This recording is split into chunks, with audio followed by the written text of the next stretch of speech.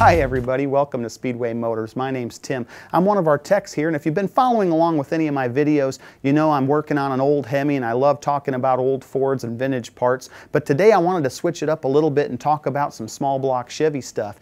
Now, if you're in the market for an exhaust system and you're trying to figure out which way to go, you've probably looked at exhaust manifolds, stock manifolds, and also headers and the plethora of headers that are out there for small block Chevys. The parts behind me uh, are, are, a piece that we're really proud of here at Speedway. I love selling them. Our customers love them. Bill Smith was very proud of these uh, manifolds. The reason is, is he had a big part in designing these things when we set out to make these uh, manifolds, we wanted something that flowed as good as a header, but also looked good and cleared you know, your angle plug, standard plug heads, had big enough ports that you didn't run into any uh, you know, turbulence issues, uh, but also were easy to, to hook up. So uh, you get the whole package with these. The reason I brought them too is just because when you look at a picture of these either on the website or in the catalog, it's hard to get a full feeling for just how nice these are. The polish work on the polished stainless steel is just remarkable. Somebody's obviously spent a lot of time and talent you know, polishing these things out. You won't be disappointed, trust me. Now, if polished isn't your thing, we also have them in a standard unpolished stainless steel, and then we have them in cast iron as well. Just holding these things up, I can tell you I'm getting a pretty good workout. I mean, they're a heavy duty uh, manifold, so you're not going to have the problems that you have with headers, you know, dealing with under the hood heat and rust and all all that stuff that, that is a problem with those.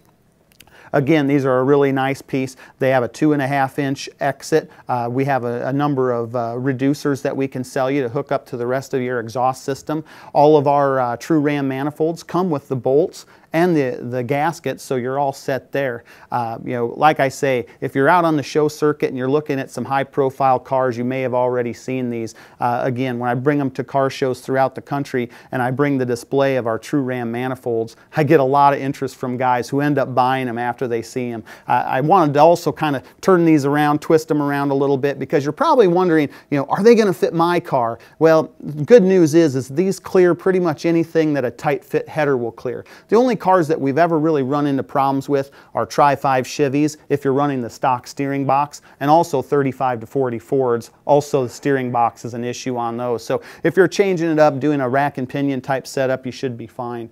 But you know, like I say, really nice piece. You won't be disappointed. So hopefully that helps you out, especially if you have a small block and you're looking for another option other than headers. You know, obviously if you have any questions that I haven't addressed, we're here to help you always. We've got a great tech staff and a wonderful uh, group of people that, that's willing to, to walk through, you know, whether or not these will fit on your car. So again, visit our website, speedwaymotors.com or give us a call. We're always happy to help you out.